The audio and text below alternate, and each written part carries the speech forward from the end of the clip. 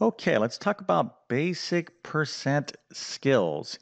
And uh, nothing's more basic in terms of, uh, with respect to percent, than finding the percent of a number. And we're going to practice that by doing this problem in this video. 45% of 1 half is equal to what?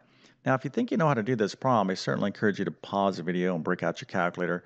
Feel free to use a calculator. Cal- you know, using a calculator, you don't have to equate that to cheating or like, oh, you know, I shouldn't use a calculator. No, absolutely. Uh, uh, use a calculator to help you with the calculations, but a calculator is not going to tell you what to do. You have to tell the calculator what to do, right? So if you do happen to get the right answer, which I'm going to show you here in a second, what I really want you to think about is your level of certainty. You know, were you really confident in the steps uh, that you took to get the answer. But uh, if you're a little bit lost or shaky here on percent, especially if there's a fraction involved, uh, I'm going to clear up that confusion here in just one second. I'm also going to leave you with some uh, follow on recommendations to continue building up your um, percent skills because this is a basic problem, but there's other percent type problems that you're going to want to be familiar with. So we're going to get to that and more in just one second. But first, let me quickly introduce myself. My name is John. I'm the founder of TabletClass Math. I'm also a middle and high school math teacher, and over several years, I've constructed what I like to believe is one of the best online math help programs there is. Well, you know, of course, I'll let you be the judge of that statement. It's a pretty bold statement. You can check out my math help program by following the link in the description of this video. But basically, I have 100 plus different uh, math courses. I have um, courses spanning from pre-algebra, algebra 1, geometry, algebra 2. I'm going to be launching pre-calculus here uh, shortly. All my courses have taken me years to construct. Very, very comprehensive. Again, I think it's one of the best platforms out there because I don't do little quick tutorial videos. I really get, get you into full immersion teach you the concepts really deeply, and then I teach you how to solve thousands of problems, most common problems you're going to be facing uh, at uh, the middle and high school level mathematics. I also have many courses in the area of test preparation.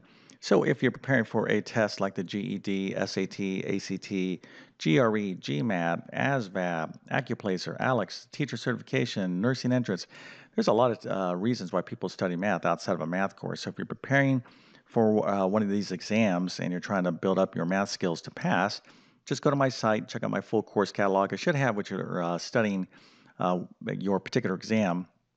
If I don't, drop me a line in my contact form and I'll help you out the best I can. Also, I work a lot with independent learners like homeschoolers. So, if you uh, are a homeschooler, have a great homeschool learning system. And then, lastly, I help those of you who are just struggling in your math class. Okay, I could definitely help you out. So, uh, the one thing though, I always like to uh, state in my videos I mean, you're here at this video to improve your percent skills, but you're really thinking about math, right? You're trying to learn math. Well, if you want to learn math, nothing's more important than uh, taking great math notes. So, over decades of teaching math, one thing's apparent to me those students who take the time and effort to take outstanding math notes. They, these students almost always end up with A's in the class. They learn, okay, because note taking is critical to your success. And then those students who just kind of blow it off, like I did back in the 1980s when I was in school, I was like, yeah, yeah, you know, I don't need to do that.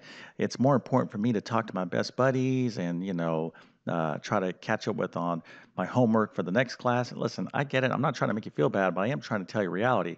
If you don't take great math notes, you are going to struggle in mathematics. Period, point blank, end of discussion. So, if you're really serious about learning mathematics, okay, you're going to have to do the hard work by uh, taking great notes because that's going to keep you focused and engaged. There's just too much detail um, and skills involved in uh, the entire mosaic of mathematics. You just can't, you know, look and just kind of cram and things like that. So again, I really try to emphasize this message to uh, help those of you out there. Like you can learn about percent, but if you don't get this part right, then you're always going to struggle. Okay. So as you're improving in your notes, I actually offer detailed, comprehensive math notes to include uh, pre-algebra, algebra 1, geometry, algebra 2, and trigonometry. Find links to those notes in the description of this video. Okay, so 45% of 1 half. Again, don't be shy about using a calculator. And let's just review here how to find a percent of a number. So let's do something real uh, easy. 40% of, let's say, oh, I don't know, uh, 350. Now, I'm not going to do this uh, problem, uh, but I am going to explain the basic process here of uh, how to find a percent of a number. Okay, so the basic process is this we want to take this percentage, here we have 40%, and we want to rewrite it as a decimal. So that's skill number one. Okay, you're going to have to go from percent to a decimal. Now, how do I do that? Well, let's look at 40% this way 40.0%. Now, now, notice the decimal points right there. So, to write this percentage as a decimal, all you need to do is move the decimal point two places to the left. So 40 uh, percent or 40.0% is equal to 0.4 as a decimal.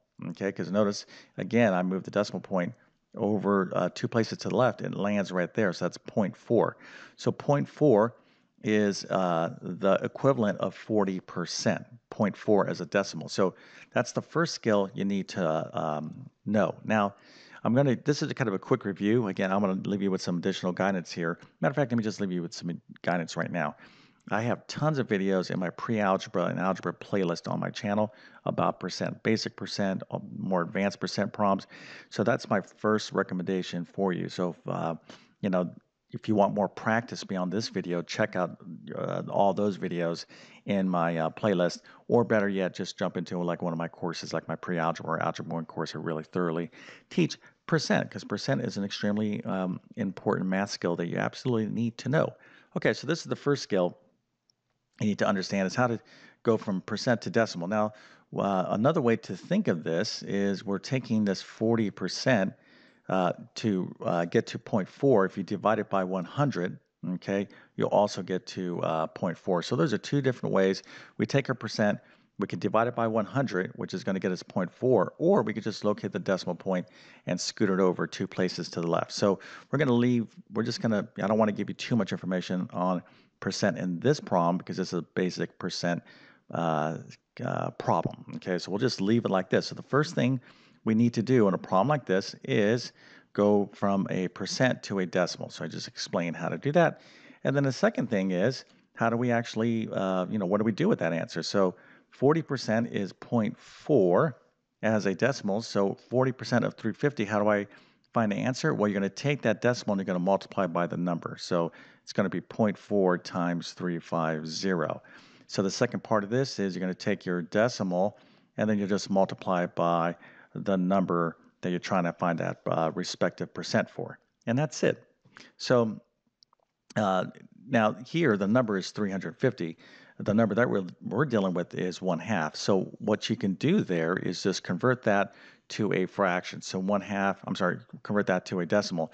So how do I convert that to a decimal? Well, just go into your calculator, take one divided by two. Hopefully uh, all of you out there know it's 0.5. But if I wanted to uh, convert, you know, two fifths as a decimal, just go into your calculator. If you don't know how to do this, because you know, some of these fractions are pretty common decimals, but that's okay. Just go into your calculator, take 2 divided by 5, and you'll see the decimal equivalent. Okay, so now that you understand these steps, and hopefully you know, explain this clearly, go ahead and try to figure out what 45% of 1 half is. Okay, so what are you going to do? You're going to change that 45% to a decimal. Okay, you're going to need to change that 1 half to a decimal and then you multiply these together and you'll get the answer. Okay, so I'm going to show you this now. So if you don't want to see the solution, go ahead and pause the video. But let's get to it. Again, uh, not a lot of work involved, uh, but you have to know what you're doing, right? So here, 45% uh, is 0.45 as a decimal. Again, 45 um, is uh, the same thing as 45.0%. So I can just scoot that decimal uh, point two places to the left, or I could take 45 divided by 100 and you get 0.45. And then 1 half as a decimal is 0.5. I can go to my calculator and divide 1 divided by 2, or just know that oh, 0.5 is equivalent to the fraction 1 half. Now, I'm dealing with two decimals, so 0.45 times 0.5 is equal to 0.225, and that is the solution. Now, if you got that answer right, Okay, I would have to definitely give you a happy face Now, if you got that uh, answer correct and you knew exactly what I was talking about, in other words, you didn't, you got the answer, but it was kind of like guessing. If you're like, yeah, I think this is the answer, then I'll still give you a happy face because you got the right answer. But if you were absolutely certain in the steps to take, then I will need to give you an A plus and a 100%. And let's give you one star because this wasn't a difficult problem. Okay. I give you more stars for more challenging problems, but you know, listen, feel good about that. You know, percent is extremely important in mathematics. It's an absolute must math skill. It's just, you know, it's probably the most practical math skill uh, that we uh, we actually encounter percent almost every day. Just think about it. if you're watching the TV or on your phone, you're at the store, you see percent off, discounts, everything else like that, sales price. You open up your mail, you see a uh, your credit card statements, APR, mortgage rates, you know, interest for car loan uh, percents. So we see this symbol probably, I don't even know, maybe like a hundred times uh, per day in a 24-hour period, and we should know a lot about it. Okay, very, very common, and of course, it relates a lot to uh, finances as well. So first things first, let's get you to understand basic percent uh, problems like this, and um, but you want to move on to more advanced stuff. So again, I'm going to uh, suggest that you check out all my additional videos on percent in my pre-algebra playlist on my channel. But let's wrap this video up. Now, if you liked this video, if it helped you out, if it was a good little review for you, please consider smashing that like button. That helps me out. And if you're new to my YouTube channel, please consider subscribing. I've been on YouTube for a long time. It's a great platform for someone like myself who is passionate uh, about teaching math. My goal is to try to teach math in a clear and understandable way so you can learn it and move on with your goals. Okay, so I have a lot of uh, videos on my uh, YouTube channel organized from basic to advanced math, but my best math help will always be found in my math help program.